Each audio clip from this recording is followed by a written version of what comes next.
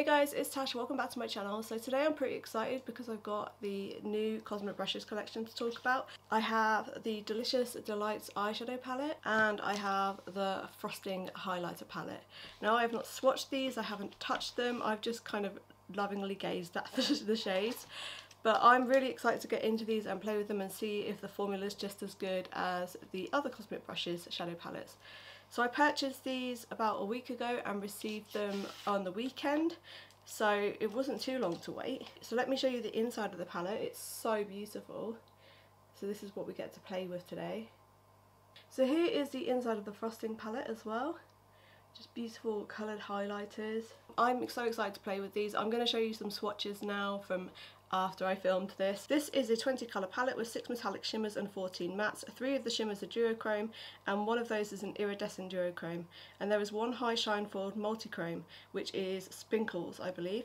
Create soft dreamy pastel looks or go vibrant with stunning electric shades. So I think I'm going to do a generic Tash thing and go with like the purples, the pinks, and the minty shades for the first look. I am going to be doing a second look with this as well, so hold on for that. So first things first, I want to use, um, oh also if you're interested in anything that's on my face, I'll be linking it down below, so check that out in the description box. The first thing I'm going to be doing is using the MAC Painterly Paint Pot to prime my eyes. I know, very 2016, but it works for me and it keeps my shadows on all day. Um, you can see I've got quite a big dip in it right now. So one of the reasons I love this primer is it not only does it make the shadows last all day, but it also gets rid of all that discoloration on my eyes and veining. So let me zoom you in a little bit closer and we'll get into the first look. So the first shade I'm going to dip into is this shade here called Jelly Bean and this is going to go into the outer corner. So I'm just using my E25 to place this colour in the outer corner from Sigma. So I want it on the outer corner of the lid and then going up into the crease as well. So I'm going to place that shade there first, just using stamping motions, and then we'll blend out the edges. I'm hardly getting any fallout, which is nice. Not that I mind fallout as long as the shades are good, but I know some people are bothered by that, so I thought I'd mention that. So far with this shade, hardly any fallout. So I think I'm going to leave it there. So the next thing I'm going to do is I'm going to take my Zoeva 227 brush and I'm going to take this pink here and place it next to that purple shade just in the crease because I want to play with some of these shimmers. I am a shimmer lover so it's so nicely with that purple shade. And again when I tap off my brush I'm not really getting any fallout so that's amazing. I'm just going to build this up a bit. And then with that same brush I'm actually going to take that same pink shade and I'm going to blend out the edges of this purple. I'm taking a Real Techniques brush, I'm not sure of the name unfortunately, it's all rubbed off, it's quite an old brush, but it's just like a fluffy blending brush. I am going to take the shade Minty, this one right here, I'm really excited about this, and I'm going to put that all on the inner part of the crease. So far I'm really impressed with the pastel formula, even though I haven't swatched these yet, although you'll have seen swatches by now. Um, I'm really impressed with it. It doesn't seem powdery and chalky and I'm not having to really layer it up to get it on. So I'm going to take that right into my inner corner just there. So the next thing I'm going to do is take that same brush and I'm basically going to place the same three colours underneath my lash line. These shades are blending so well together. I'm really impressed so far. I'm going to take the 237 Detail Shader Brush by Zoeva and I love using this with shimmers and some MAC Fix Plus spray blah, blah, blah, and some MAC Fix Plus spray and I'm going to take the shade, what am I going to do? I think I'm going to use Fizzy first, this mint shade just here. Oh wow. Guys, this is so pretty. I'm so excited. It's, it's, I know I've got the Natasha Denona pastel palette, but this is a completely different colour story to that. It's it's like ice cream colours. A palette I had similar to this was that Sigma one that I had in my declutter, which I forget the name of, but it was that old pastel palette that um, Leisha from Xsparkage adored, and I decluttered that because I didn't think it was it performed that great. I suppose maybe for the time it was good, but I feel like formulas are common a lot since then, especially for pastel shades.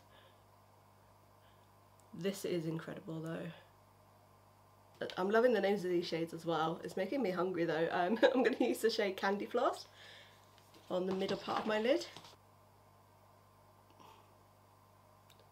Ooh. Oh yeah, that's so pretty. The next thing I'm going to do, I'm not sure if this is going to work because I've only tried it with two eyeliners, but I've really enjoyed using different coloured eyeliners at the same time on my waterline. And I've just got three corresponding shades. These are from Colourpop. These are their new creme gel liners. Well, they're newly uh, formulated creme gel liners. They did have them before. I'm not sure what the old formula was like. These claim they have 18 hour wear. Um, I don't find that to be true. I find like after a few hours they do rub off. They do tend to um, fade off my waterline. They may have an 18 hour wear on your lower lash line and top lash line, but on the waterline, I just find that they don't last that long. But I do have watery eyes, so that could be the reason why. So firstly, I'm going to take Plum Smash and just put that into the outer corner. Then I'm going to take this pink shade, it's called Amethyst something, I can't quite tell what the second word is. But I will link it down below for you. And then we're going to take the shade Icebreaker and put that on in the inner corner. An icebreaker just broke on me, but luckily I managed to um, do my eyes first. But that's what the eyeliners look like. I just think it's such a pretty effect. Then I'm just going to add some mascara and this is the e.l.f. Lash and Roll Mascara which is okay, I wouldn't purchase it again. It's okay for length, although I have quite long lashes anyway, like, well, pretty good lashes, but volume isn't really there with this mascara, so if you're looking for a bit more volume, I don't think this will be the mascara for you we're going to use it anyway because it's open and I want to finish it. Okay, so that's the finished eye look, guys, and then we're going to move on to the frosting palette. And I think for the inner corner, we're going to go into Golden Apple, just to complement that mint shade. And again, I'm taking a Real Techniques brush. This is like a slanted blendy brush, but I love using it for the inner corner. We're just going to take that and place that in there. It's so pretty, it really complements the mint. Oh, I love it. I love a coloured highlighter, guys. And then I'm going to use this highlighter in the middle called Cinnamon Swirl, just to highlight my cheeks. Now this does have glitters in it, like small glitters, so if you're not a fan of that, then you might not like this highlighter palette. They kind of remind me of the Kaleidos highlighters. They've got quite a bit of glitters in them as well. The way it looks on my skin just reminds me of how the Kaleidos highlighters look which I'm not mad about at all. Okay guys, so we are finished with my first look, let's move on to my second. So for my second look, I think I'm going to take Charms and a Zoeva 232 Luxe Classic Shader and I'm just going to place that on my lid. There's a little bit of um, fallout with this shade when I tap off my brush but it's not translating to the face so that's okay. Probably because I tapped my brush off obviously. And this doesn't have to be really tidy or anything because I'm going to blend it with other shades. So at the moment I'm just stamping it on to get the most pigmentation.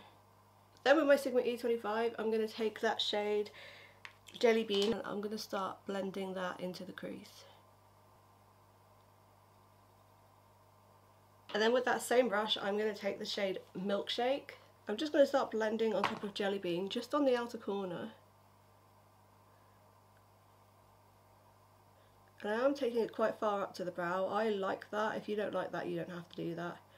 That's gone on really nicely. What I want to do now is just take a blending brush with nothing on it and just soften those edges.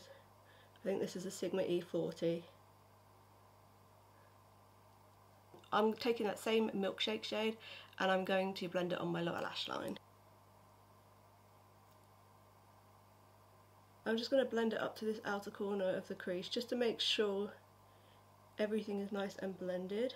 Now I'm not sure whether to use frosting or sprinkles on my eyelid. I think I'm going to use frosting on the lower lash line and risk it with sprinkles on the eyelid. Maybe just in the centre. I'm not sure. This could go terribly wrong. But... So I'm just going to place frosting on the centre of my lower lash line. I would use my fingers but my nails are really grown out. I'm getting them done today so that's exciting. I just want to add something to the lower lash line. That's really pretty, it catches the light in the middle, it's really nice. Then I'm going to take Sprinkles, which is the multi-chrome, and I'm going to place that in the centre of the eye. Oh my goodness, that's so pretty. And I'm placing the majority of the shade right in the centre and then I'm tapping outwards on both sides. And then something I like to do is just wiggle my brush down both sides of where I'm blending just so it blends those shades in even more. That's such a beautiful multi-chrome. It's just from like a green, gold to a pink to a purple so I feel like it's actually really nice for this look. So all I will say about that shade is it is really really soft so when I tap my brush in it does leave quite a big dent in the shadow so just be aware of that like if you're going to use your finger or brush just tap gently because it is a really soft shade. I'm going to take my favourite inner corner blending brush from Real Techniques and I'm going to take, I was going between the green and the white but I quite like the green for this look so I'm going to go with Zesty in the inner corner and hope that this works. It should tie in with that multi-chrome quite nicely because it does have a green shift to it. If you don't like colourful inner corners, you could always go for the white. There's a matte white and a shimmery white in here and I think both would look incredible with this look. The shimmery white is a, like a duochrome so it shifts like a pinky purple shade so that's really nice. Then I'm going to take that purple liner I used last time in um, Plum Smash and I'm just going to line my waterline. Okay, I'm lying. I decided I wanted something a bit darker than Plum Smash, so I'm going to go with this bluey shade called Outer Space. It's like a black and blue. It's really pretty and I think this will go really well with the look.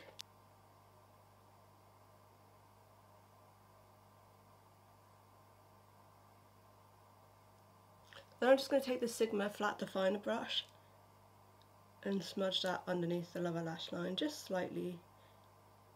Then we're going to apply that same mascara, the e.l.f. What's this called? I always forget. Is it Lash and Roll? Yeah, I always get it confused with the Benefit mascara they're trying to dupe, so Okay, so what you didn't see was me poking my eye out with a mascara one and getting mascara everywhere, so I've just had to redo this eye. Hopefully it looks okay-ish. Lastly, I'm going to use a highlighter and I'm going to use a Blueberry Muffin, which is the shade that I haven't used yet. This has been swatched. Again, these are extremely soft. I'll talk about that in a minute. So just beware when you put your brush or your finger in to swatch. And again, like I said, this does have micro glitters, so if you're not into micro glitters, I would avoid this, but this is this is even better than the pink shade, Cinnamon, Cinnamon Swirl. Cinnamon Swirl was nice, it was more of a lighter highlighter in my opinion, like you didn't get as much glow. But this one's stunning. I hope the camera's picking it up. Okay guys, here is the final look. Please focus on this eye more than this eye because I feel like this one looks a mess now. And I've got to go out as well. I've got to get my nails done. Never mind. So let's talk about the palette first off. I love this palette, I think it's beautiful, the shades inside are just, so far what I've played with is stunning. I can't say that all of them are great because I haven't played with all of them. I might do like a TikTok shorts or um, a reel using this. One thing I will say is a couple of the shimmers are very soft, so like this shade here, Sprinkles, like if you place your hand, your finger in there to swatch it, or if you place a brush in like I did this morning, you are going to get a bit of a dent, so just be careful with those. I'd rather a softer shadow that dents slightly than one that's really hard pressed and you can't pick up or get any pigment out of it. I hardly got any um, kick up out of the pan. I did with this shade here called Charms but it's a deep shade, it's a dark purple, so I kind of expected a bit of kick up, but I didn't get any fallout on my face because I, I tapped my brush off, so it's easily solved. As for the highlighter palette, again, these shades are really soft. I'm not sure if you can see, but there's dents in them from where I swatched them yesterday and from where I placed my brush in, but other than that, like,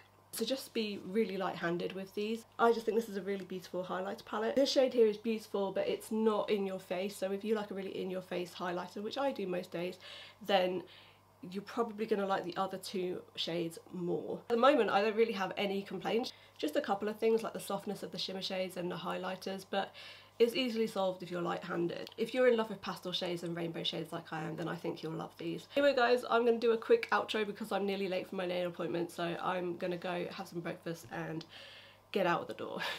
I also want to say thank you to all the people that have subscribed recently, it really means a lot to me. Anyway, I hope you enjoyed this video. Please subscribe for more videos like this. There are more declutters coming up. I'm going to do a highlighter declutter soon. Um, so if you're interested in that, then stay tuned, subscribe, all that good stuff. And I'll see you soon.